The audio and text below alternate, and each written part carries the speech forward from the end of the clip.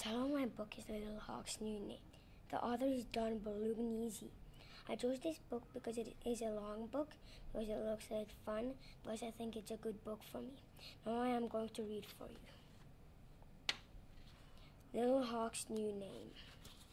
Little Hawk saw some hair, hairy-faced men. The smell was strong. He stared. Who are they? he asked. Grandfather was smile. They are white men, he answered, who live in the mountains where they trap and hunt. Come on, little hawk, let us see what there is to trade. Little hawk saw many things colored clothes, beads, beads, steel knives.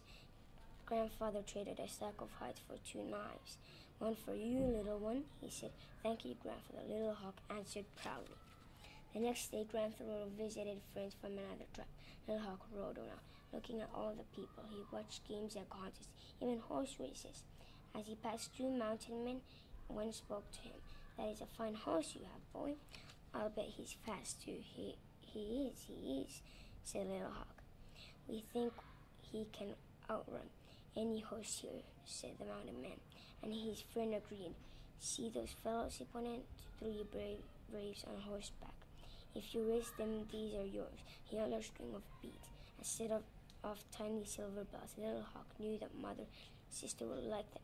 Come on, boy, just a little one, and these are yours. Win or lose, how far, Little Hawk asked. From here to that big purse tree, and back, said the mountain man. He waved to the braves. They rode over.